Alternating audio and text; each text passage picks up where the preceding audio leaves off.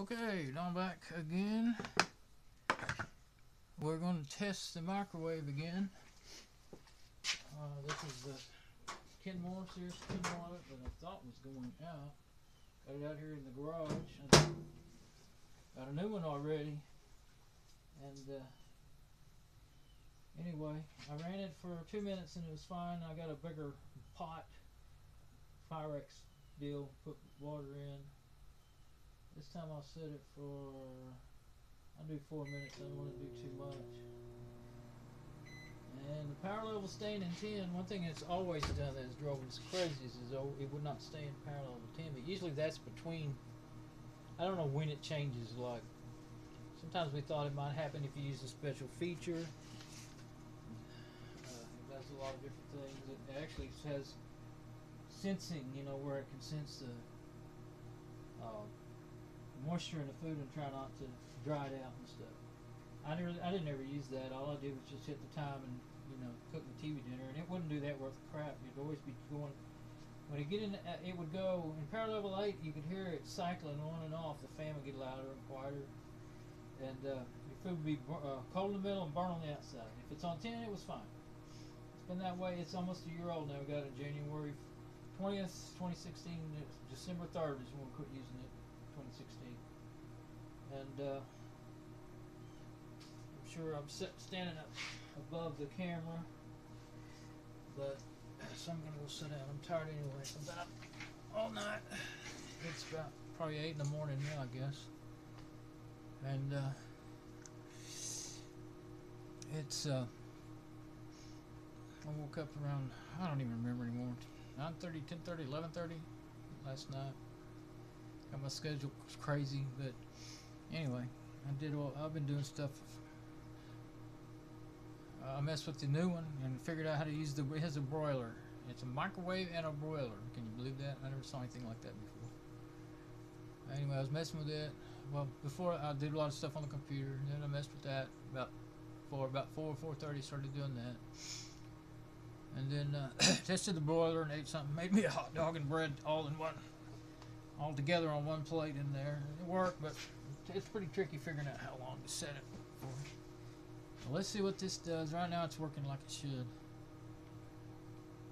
Well, that's good. At least it's not blowing up or doing anything. I thought it, it had, uh, we had thought, just, we just knew that it was uh, going out and, you know, that it was drawing a super amount of current. But what it looks like might have been the problem all along was that uh, the uh, somehow at some point I don't know if this did it or the one that we had before it could have even done it. The one that it did, I'm pretty sure it went out. I thought it went out. It was a used one. It lasted about five years. Now I'm starting to wonder if that one wasn't the microwave, uh, but it it got to where it wouldn't cook the food. I think it did something. It made noises and it, and yeah, I believe it made noises. On, you know, you could hear it in the microwave, like something was going out, burning up or whatever, and it stunk. Didn't smell like burning wires though. It's a different kind of burnt smell. Didn't smell like a burnt. I've smelled many. I've I've messed uh, messed.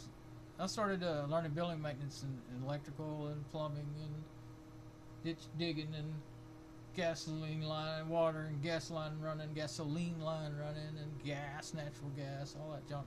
Since 1975, I started learning that, and I've done it on and off all my life. So, got a very, you know, varied background, and I can usually figure things out. But what I always say, if it ain't broke, I can't fix it. And this may not be broke, so maybe I it didn't need fixing, and it didn't maybe not didn't need replacement. I was very upset with it oh, because it gave so much trouble all along. And it might, uh, it could even, honestly, it could even have be turning out that it was that, um, some point that six-way plug got overheated to the point that it rusted. I never seen one rusty like that. It I mean, it didn't get water poured on it. It's it's in it's in the living room, and there's no roof leaks or anything like that. And uh, like it's in the kitchen or the bathroom or anything we could possibly.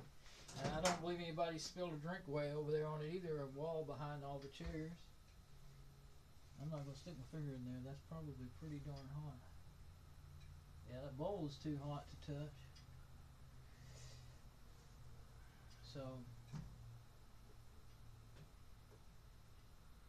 just going to leave it open. Let it cool down. Other bowl that I warmed up a while ago, that that warmed up in two minutes. It's still warm. If that was coffee, you could drink it. Makes me want some coffee. Of course, I don't. I don't. Uh, that's not how I make my coffee. I don't want it sitting back there where I forget it. I'm trying to figure out what to do with it. Put it over here on the desk, close to me. But uh, ah, don't need a microwave in the garage though. We don't come out here and eat. Might eat something out here if I'm working. I'm dirty. I might bring something. Go out in the house and get it and bring it out. Uh, guess you could stack them. Have two. Look kind of funny, but it. Of course, you couldn't turn them on both at once. It'd be too much job for darn sure. But I've tested my new my new plug and my new plug-ins on my six-way. I ran it a good long time today and used the broiler and the microwave. They don't run at the same time. Runs microwave first and then the broiler. And uh, microwave's a thousand watt and the broiler's fifteen hundred watt. So um, on the other one, not this one. This one's eleven hundred watt, just microwave. And uh, anyway, that plug never warmed up at all. It's kind of cool in the house because it's a cool night, and uh, it was cool to the touch. I mean, when I go around there and touch it, it felt cool, not not even warm. So it's good got my plug problems. I showed them several times. I'm not going to show them again. The pieces where that I replaced, I still have them. But uh, I don't think, unless you know, sometimes things are, are, are about to go out and they'll work and then not work, work and then not work. So the only way we're going to find out for sure is if we put it back in action. So I don't know what we're going to do. The thing is, I ordered that other one on Amazon and um, you can't just you know you have to you end up having to pay shipping unless it's well I'm the way it sounds I'm worried if there is something wrong with it but uh, and it did have a big it just has a plastic film where the numbers are see like on this one well know they all have numbers like that it had a big gash out of the plastic I think that this one may be the same way but it's a black background and then the numbers it's basically a big clear sticker with numbers printed on it. That's what it, I think it is and has a big gash out of it. So that it did that was very aggravating. Get something brand new that was like that. First, I thought it might not be new, but if all all the way the box looked and everything, it looked like it had never been opened before. So I thought it could have been a return. So anyway, even if you get free shipping, it's still a hassle. Sending it back with something this heavy, twenty-five to anywhere between twenty-five and fifty dollars to send it back. So that'd be crazy. It only costs eight seventy-nine dollars, eighty dollars. This one cost 129 last year. Now it's 78 or something on on the Sears site right now.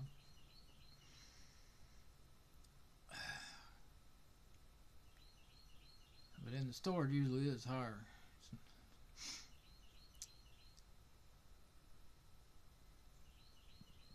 So I heard the other one going in there and somebody's cooking right now. I heard that one beeping. Those beeps are too loud, and they always beep three times. You can't. That other one I read in the manual, you could turn it off. This one, I didn't find any way to turn that stupid beep off. It drove me crazy. You see, you open the door. Used to the most white ovens, when you open the door, it would stop the beep, but these don't. They keep beeping even when you open the door. well, I'm just jabbering on. There it is. It works. So maybe uh, all my worries about it being uh, going out and could have been just because of that. Uh, but what caused that? What caused that thing to, uh, to burn? I'm gonna grab it. I'm talking about it and it's uh, what in the world caused one leg of that? Where is it? There. What in the world caused one leg of this to burn? That light's on over there. It's hard to find my spot. there we go. Okay, so what caused? You can see the other, back one shiny and the dark one's so dark. There now you can kind of see it. That what caused that to burn, and of course then rust. So the rust it was old enough, you know, when I look at it and you look at it and uh, when you can see it. I don't have my. I can do it with this one or not. I've done it with my other one, the one that has a light on it. And I have a light shining from behind me too. That's kind of changing everything. But uh, I don't know if that's helping or hurting.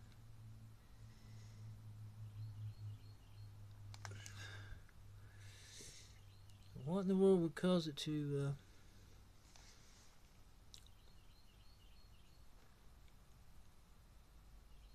and it was inside of. At first, I didn't. Uh, I didn't take it off right away. It was inside of this. Um, this is why I don't know.